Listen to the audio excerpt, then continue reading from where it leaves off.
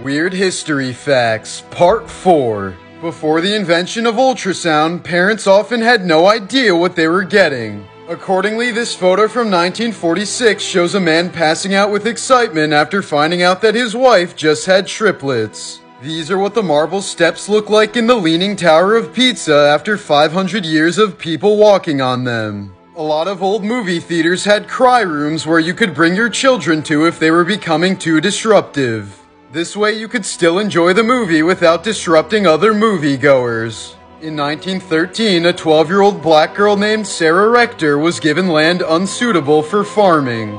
But it turned out to be rich with oil and she became a millionaire overnight. She was known as the richest colored girl in the world and Oklahoma legislation made an effort to have her legally declared white.